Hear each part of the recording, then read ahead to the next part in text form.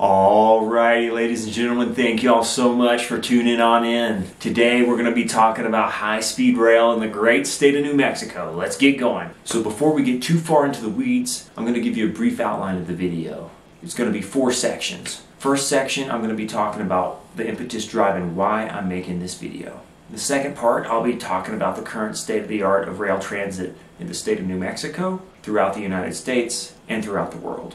Next, I'll be talking about what system would benefit New Mexico the most. There are various kinds of rail transit, and we'll hit on all of them and discuss the advantages and disadvantages.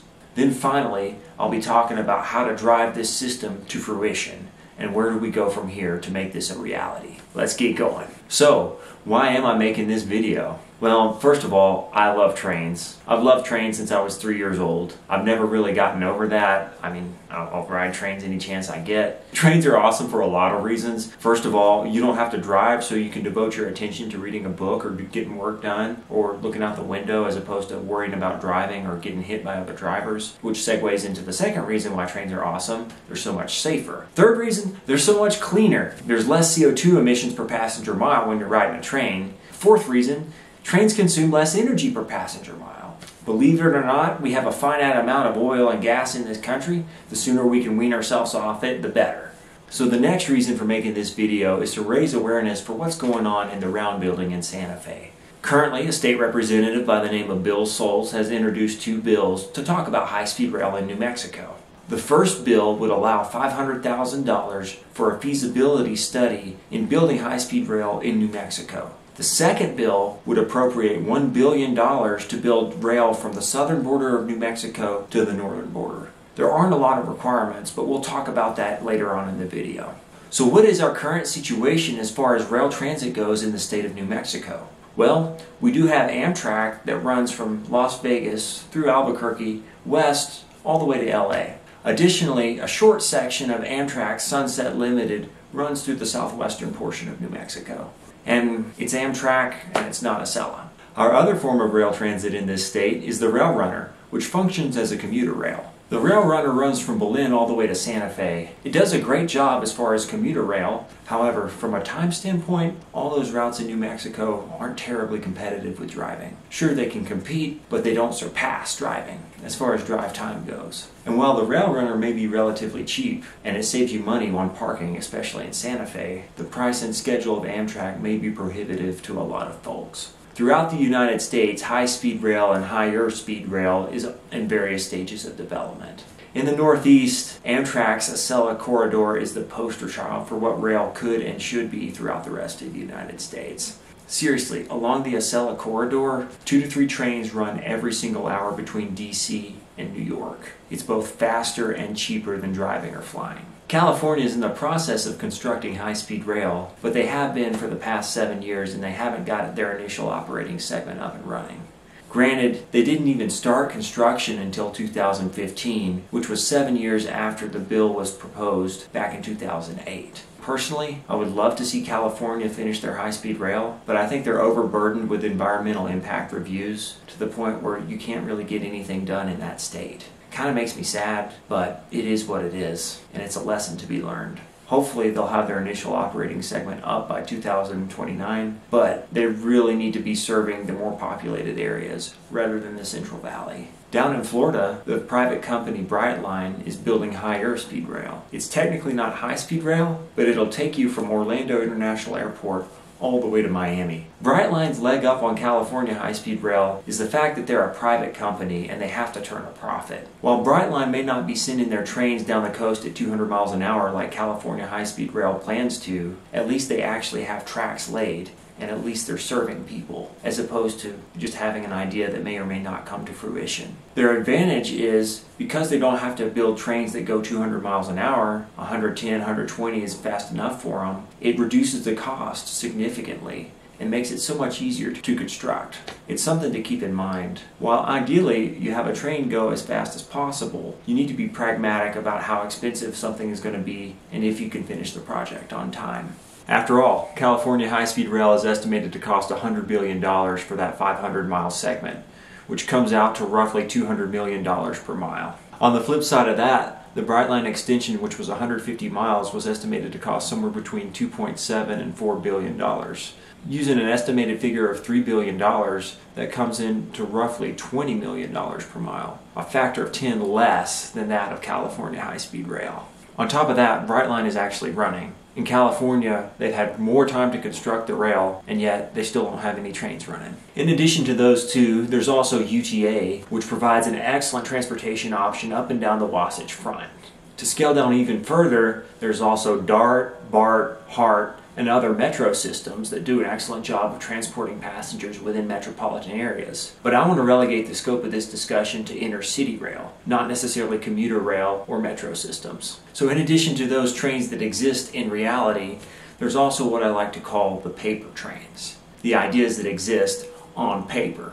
In a sense, California high speed rail is a bit of a paper train because it doesn't serve customers and they don't have any stations built out yet. But a better example would be the Pacific Northwestern high speed rail corridor from Vancouver through Seattle all the way to Portland, Oregon. It's a concept, but they haven't built anything out yet.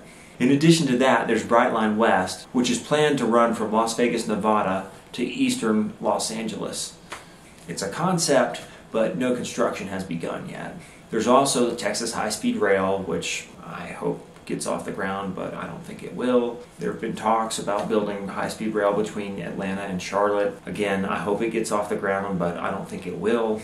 So, there's all these paper trains, but there's something to be learned from all of them, and that's you need to set goals that are realistic and achievable.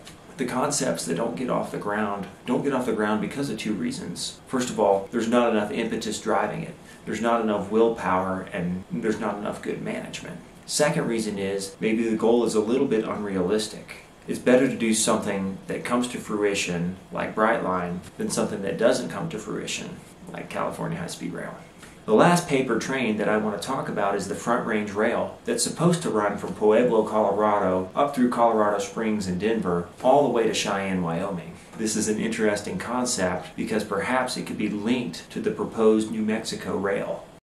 Internationally, high speed rail is a sight to see. I recommend you travel abroad and experience it for yourself if you live in the United States. If you don't live in the United States, I'm envious of the rail systems y'all have at your disposal. In 1962, Japan built the Shinkansen. In the Audis, China built a Beijing Shanghai high speed rail and expanded its network to be massive. Over in Europe, their network is insane. It's absolutely beautiful how quickly you can go from town to town in Europe. Arabia has high speed rail, Turkey has high speed rail. All these places have high speed rail. I am of the opinion that we in the United States have a duty to the subsequent generation to provide something like this, some big massive infrastructure project. This is promoting the general welfare and securing the blessings of liberty for ourselves and our posterity. So, what are the benefits versus the drawbacks of each rail system? Maglev is the absolute fastest, but it's also the most expensive. There's the age old trade off of quality versus price. The higher quality system you have, the more expensive it's going to be. The next thing we want to consider is if not maglev, how are we going to power this train? Are we going to use an overhead catenary and make this entire thing electric? Or are we going to use a diesel electric locomotive engine? The overhead catenary is certainly more environmentally friendly, but that would involve electrifying miles and miles of track, which would involve building tracks solely devoted to carrying these trains. The next question we want to ask ourselves is do we want to build track solely devoted to this higher or high speed intercity rail throughout the state of New Mexico? Maybe we do, maybe we have the money for it, maybe we don't. As an example for how much a system like this might cost, the estimate for California high speed rail is $100 billion for roughly a 500 mile segment. So it's roughly $200 million per mile. That might be a little bit expensive considering we only have a billion dollars earmarked. On the flip side of that, you have the Orlando extension of Brightline, which costs anywhere between 2.7 and 4 billion dollars. Using the low end as an estimate, that comes out to roughly 16 million dollars per mile. Way cheaper than the California estimate. While yes, some of the track was pre-constructed, the rail is rated to go up to possibly 125 miles an hour. Out of sheer fiscal conservatism, Brightline seems like the more attractive option to me. It's definitely competitive with driving, but it doesn't break the bank and the project actually gets done. I think New Mexico should model its high-speed rail more after Brightline than California. So where would we put the stops for this proposed New Mexico high-speed rail? I think the project should be built in phases. The first phase would start out serving the most populous areas of the state, in this case, Albuquerque and Las Cruces. However, because Las Cruces is so close to El Paso, the initial operating segment would start in El Paso, go to Las Cruces, and either to Alamogordo or Truth or Consequences, then to Socorro, then from Socorro, it could stop maybe in Las Lunas, but then stop in Albuquerque for that initial segment. An added benefit here is you could get off the high-speed train and hop on the rail runner to Santa Fe if you wanted. With the two termini in Albuquerque and El Paso, you would connect the three largest universities in the state of New Mexico. UNM, New Mexico Tech, and New Mexico State. This would help expand the educational opportunities in New Mexico and allow for better transit in between the universities as well. So before any contracts get awarded for this rail, we would need to negotiate some requirements and have them set out. Currently, Bill Soules's bill only requires that the route stops at the southern border of New Mexico and also stops at the northern border of New Mexico. While it's a good start, I think we should have more specific requirements. The first requirement would necessitate that the ride from Albuquerque to Las Cruces could be done in under three hours with the stops included. That way it would be competitive with driving.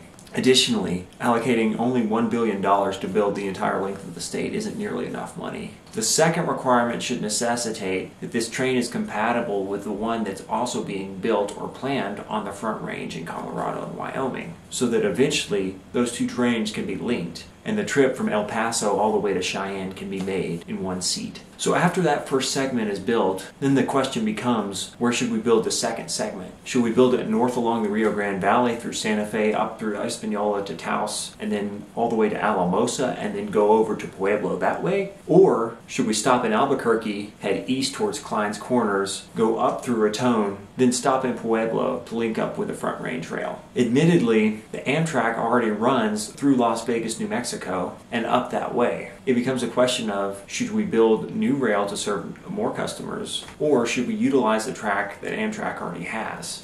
The downside to the first option is it will be more expensive to lay new track. The downside to the second option is passenger rail doesn't always get priority even though it's written into law that it should. Whichever way we go with this rail, there will be some mountains to traverse. However, I think it will be easier to go through Raton than it will be to serve Alamosa. That being said, going through Alamosa would serve more customers. Ultimately, having a system that would provide an excellent alternative to driving or flying would serve New Mexico taxpayers very well. And if the system was designed to be compatible with a front range rail, it would serve not only New Mexico, but Colorado and Wyoming and Texas as well. So the next question we need to be asking ourselves is how do we bring this to fruition? Well, the first step is to call your local representatives. Call your state representatives and your state senators and say, hey, vote for Bill Soules's bill. The next thing that you need to do is push for requirements that stipulate a maximum travel time between Albuquerque and Las Cruces, or Socorro and El Paso. That way, the rail is competitive with driving. I think this project can be constructed. We have plenty of money in this state to do so, given that so much money comes from oil and gas. And ultimately, it would serve New Mexico very well. I hope we can bring this to fruition. Thank y'all so much for watching.